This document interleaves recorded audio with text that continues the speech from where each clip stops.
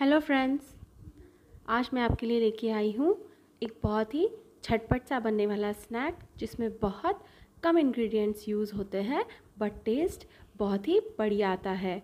चाय का बेस्ट साथीदार ये बन सकता है। ये है बेसन वाली मूंगफली, जिसमें बहुत ही कम इंग्रेडिएंट्स पड़ते हैं बट खाने में बहुत ही क्रिस्पी और मज़ेदार लगती है। जी हाँ सिर्फ़ पाँच मिनट में ये क्रिस्पी और चटपटा सा स्नैक रेडी हो जाता है। तो चलिए, आज बनाते हैं बेसन वाली क्रिस्पी मूंगफली। हेलो फ्रेंड्स मैं हूँ मयूरा।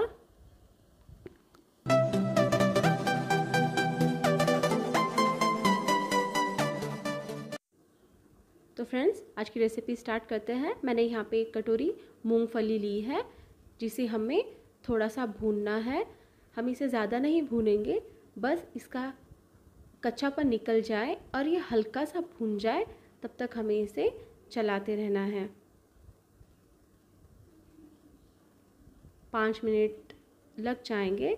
ये देखिए, मीडियम फ्लेम पे मैंने इसे भून लिया और ठंडा करके इस बाउल में ट्रांसफ़र कर लिया है। अब इसमें हम कुछ नए इंग्रेडिएंट्स ऐड करेंगे। यहाँ मैंने हाफ़ कटोरी बेसन लिया है, एक कटोरी मूंगफली के लिए हाफ़ कटोरी बेसन और वन टेबलस्पून चावल का आटा। अगर आपके पास चावल का आटा नहीं है तो आप इसे स्किप कर सकते हैं, बट मैंने इसीलिए लिया है ताकि चावल के आटे से क्रिस्पीनेस आए। हाफ़ टी स्पून हल्दी पाउडर और हाफ़ टी स्पून लाल मिर्च पाउडर मैंने यहाँ ली है। और इसमें हम डाल लेते हैं स्वाद अनुसार नमक।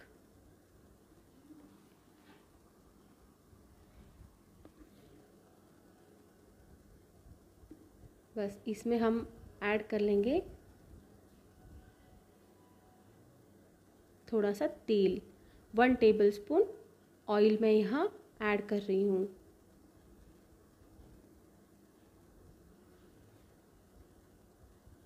इंग्रेडिएंट्स ख़त्म हो गए। देखिए कितनी कम चीज़ों से हमारी चटपटी सी मूंगफली बन के रेडी हो जाएगी। पहले तेल के साथ मैं इसे कोट कर लेती हूँ हमारे आटे से मूंगफली को। बस मूंगफली को हमें इस बेसन से कोट करना है ताकि हम जैसे फ्राई करेंगे तो इसका बढ़िया स्वाद आए। अब इसमें हम थोड़ा थोड़ा सा पानी डाल के इस मूंगफली को सिर्फ़ बेसन से कोट करने वाले हैं। पानी ज़्यादा नहीं डालना है, बस थोड़ा सा पानी आप हाथ से भी कर सकते हैं। और ये देखिए, हमारी मूंगफली कोट हो गई। और हम, हमें बस इसे फ्राई करना है। तेल मैंने गरम करने के लिए रख दिया है। उससे पहले मैं आपको बताना चाहती हूँ कि अगर आप मेरे चैनल पे नए आए हैं तो प्लीज़ मेरे चैनल को लाइक, शेयर और सब्सक्राइब ज़रूर करें, ताकि मैं नई नई रेसिपीज़ आपके लिए लेके आऊँ। यहाँ हमारा ऑयल गरम हो चुका है। और अब हम हमारी मूंगफली फ्राई कर लेते हैं। एक साथ बहुत सारी मूंगफली ना डालें, बस थोड़ी थोड़े बैचेस में हम इसे फ्राई कर लेंगे।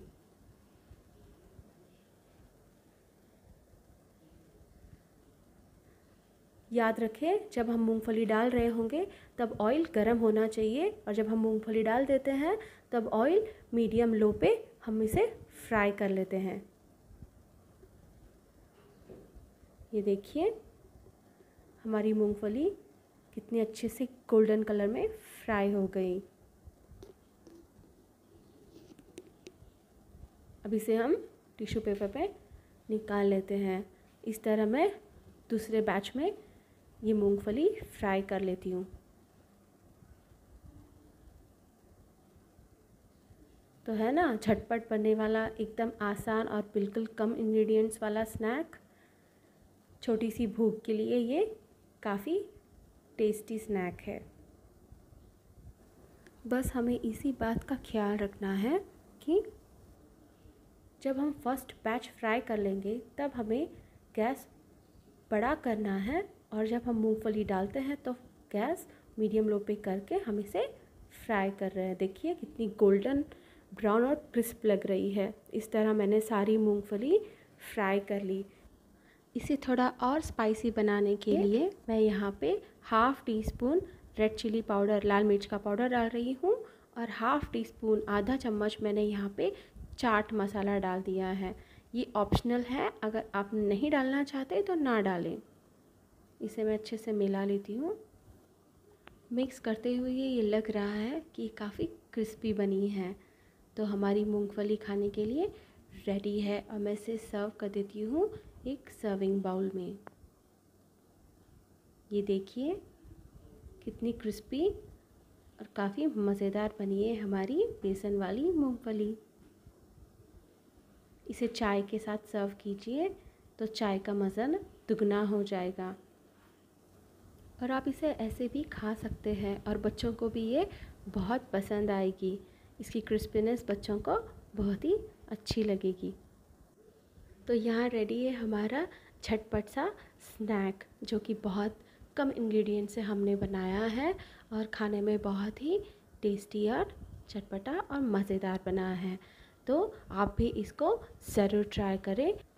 और अगर आपको ये रेसिपी अच्छी लगी हो तो मेरे चैनल को लाइक शेयर और सब्सक्राइब ज़रूर करें और अपने व्यूज़ मुझे कमेंट्स द्वारा भेजते रहें। ये बहुत ही अच्छा मोटिवेशन है कि मैं आपके लिए अलग अलग और और नए रेसिपीज़ मैं लाती रहूँ। तो तब तक अपना ख्याल रखें, स्वस्थ रहें अच्छा खाएँ और अपना ख्याल रखें। मिलते हैं मेरी अगली रेसिपी के साथ बहुत ही जल्द। Thank you so much for watching और आप मयूराज फूडी रसोई देखते रहें।